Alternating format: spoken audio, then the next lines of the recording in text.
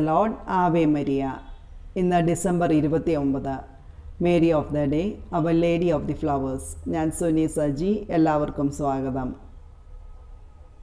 ഇറ്റലിയിലെ ബ്ര എന്ന പട്ടണത്തിൽ ഡിസംബർ ഇരുപത്തി ഒമ്പത് ആയിരത്തി മുന്നൂറ്റി മുപ്പത്തി ആറിൽ ഗർഭിണിയായ ഒരു യുവതി നടന്നു പോകുമ്പോൾ ദുഷ്ടരായ രണ്ട് പട്ടാളക്കാർ അവളെ ആക്രമിക്കുവാനായി വന്നു.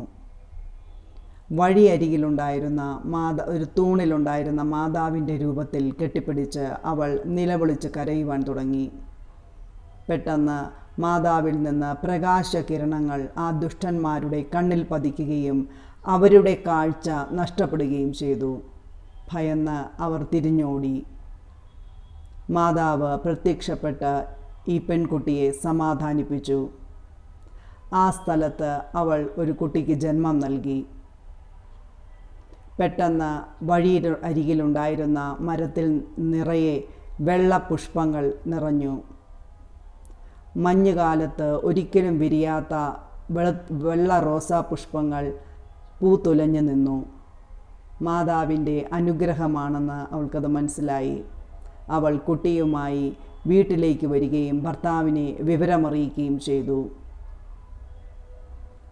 ഭർത്താവും ബന്ധുജനങ്ങളും അവിടെ വന്ന് ഈ കാഴ്ച കണ്ടു. പട്ടണവാസികളെല്ലാം വിവരമറിയുകയും ഈ കാഴ്ച നേരിട്ട് വന്ന് കാണുകയും ചെയ്തു.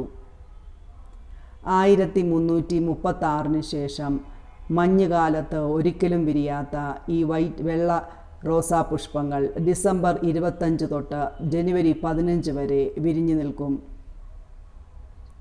ലോകമഹായുദ്ധം ആരംഭിച്ച ആയിരത്തി തൊള്ളായിരത്തി പതിനാലിലും മുപ്പത്തൊമ്പതിലും ഇത് നടന്നില്ല.